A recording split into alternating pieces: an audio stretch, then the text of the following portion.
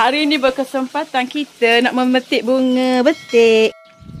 Okey, dah petik dah. Bunga betik kita oh jatuh hello okay, dah kali aku ni. Ha lah. Ha ni bunga betik kita sebaku sebaku sebabung.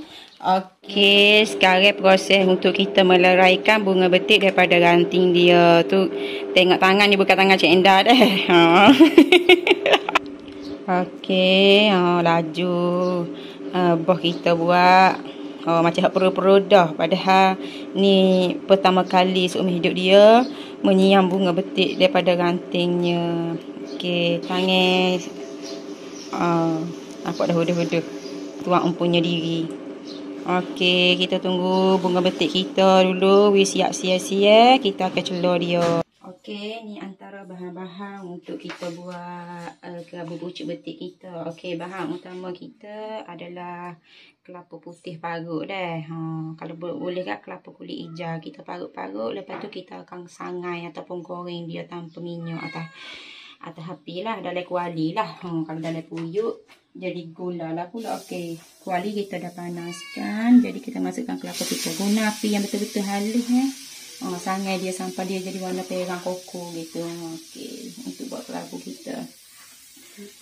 Ini betul-betul dulu biar dia berdesai lagu tu dulu. Lagi kita main kaca-kaca biar bagi dia garing. Lepas tu boleh angkat.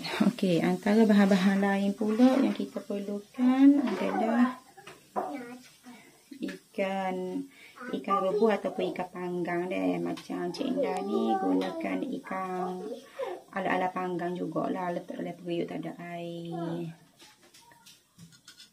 Lepas tu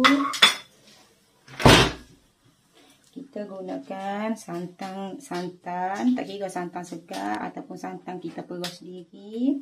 Lepas tu uh, ni anggaran untuk makan adalah tiga ataupun empat orang makan dah. Uh, bawang merah kita perlu dah perlukan dalam tiga biji.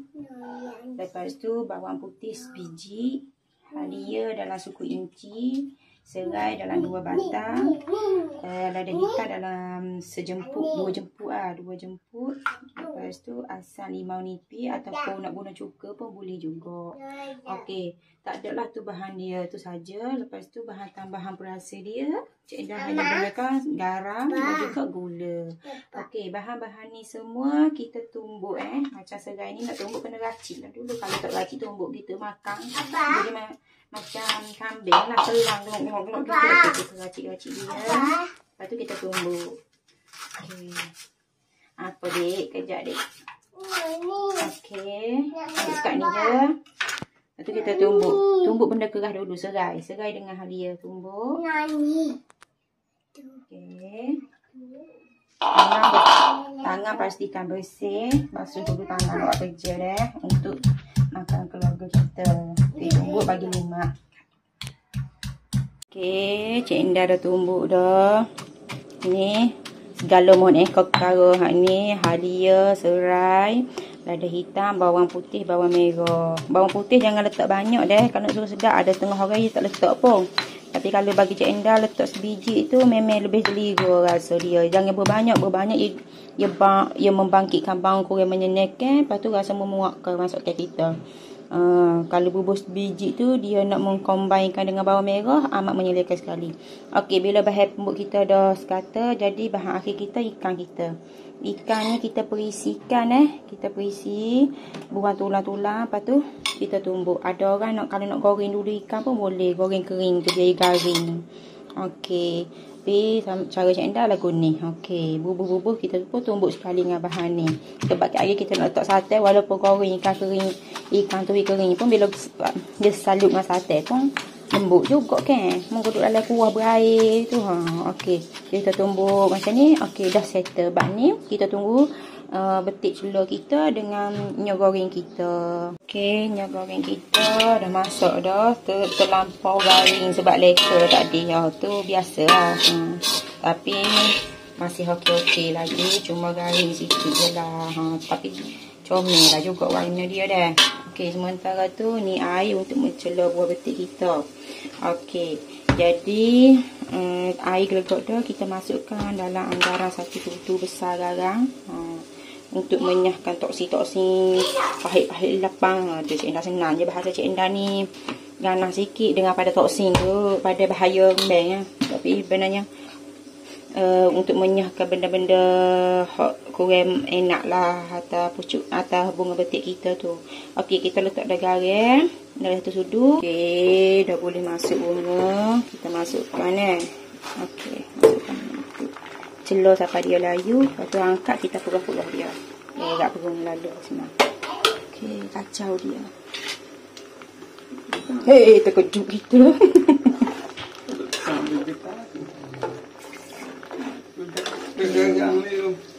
Kacau. Bagi dia layu eh. Lepas tu matikan api. Kita pegah-pegah dia. Ada setengah orang dia celur dua kali pun boleh juga. Uh, untuk betul-betul hilangkan pahit dia lah. Cik Endah cukup sekali je lah. Nama lagi benda pahit kan. Pahit tu lah ubat dia. Yang mana kata. Okey, selur je. Lepas masuk. Lepas tu kita angkat nanti kita peluh. Okey, dalam masa 10 minit, 15 minit. Nampaknya dah, dah baik dah bunga kita. Nampak dah. Um, proses mencelur dia dah masuk. Jadi kita boleh tutup api. Lepas tu kita tos dia kan. Okey, kita tos dia. Oh, Masya Allah. Lagi lah. Okey, kita buang dalam dalam ni. Okey. Dah. Lepas tu siram air dulu. Okey, siram air.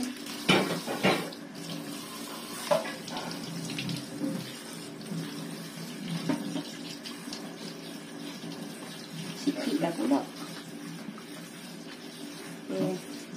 Ramai-ramai dengan tangan Iron Woman ha, kebab kebab panah ni. Okey ramah-ramah bagi dia hilang pahit dia tu biar air betul-betul tak ada dalam dalam bunga tu lah. okey tutup air okay, kita peguh dia. Peguh dia kita terus masukkan dalam bekas ni kita okey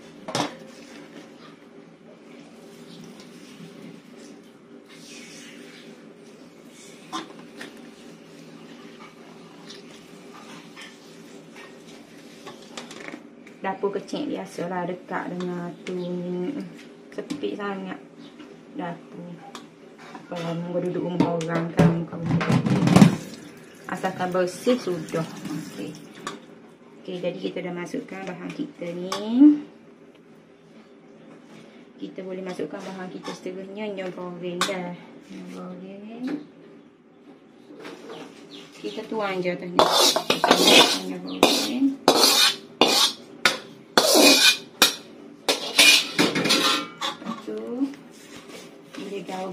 kita boleh masukkan perasa kita gula dengan garam. Secukup rasa secukup rasa masing-masing.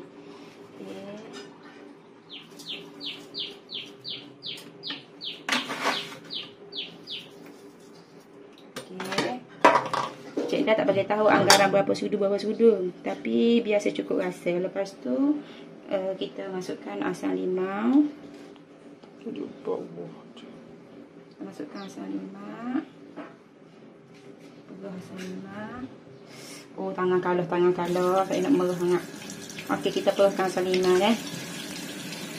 Okey, kita dah masukkan asam lima, garam dan gula sebagai bahan perasa kita. Cik Endah tak bagi sukatan dia. Terpulang pada masing-masing. Rasa ngah, rasa sendiri dan nak nak makan setara mana, nak balance tu setara mana. Okey. Uh, cara terakhir, proses terakhir kita adalah kita masukkan santan. Santan ni terpulang.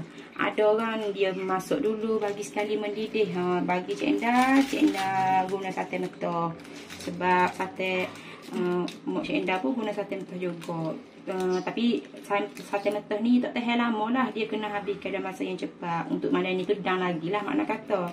Uh, jadi kita masukkan dengan kuantiti hak banyak mana kita nak. Macam setengah orang suka berair, setengah orang suka kering sikit kan. Macam Cik Endah ni suka yang relax-relax. Okey, kita gaul je. Ha, bagi sebati. Lepas tu, uh, dah dikira siap dah ni. Bila dah sebati. Tapi, ada orang dia nak buat, buat bahan tambahan dia. Contohnya belacang. Macam Cik Endah pun, bolehlah Cik Endah masukkan belacang. kita gaul juga. Lepas tu last sekali barang hiasan dia cili. Okey. Kalau tak nak masukkan pun tak apa. Kalau nak masukkan nampak berseri sikit. Ini bahan tambahan sahaja. Okey, nampak dah siap. Kita gaul bagi rata. Sikit lagi masukkan santan. Okey. Santan ni santan ori eh, memang tak campur ni. Beli daripada kedai. Memang beli baru siap mesin. Okey, ha, merah kerabu kita. Wanginya bau kacang-kacang dia bagi rata molek.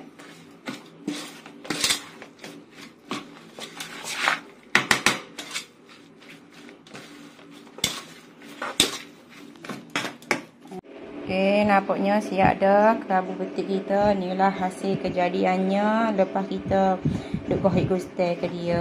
Ha, benda tak payah mana pun simple je. Okey, selamat mencuba.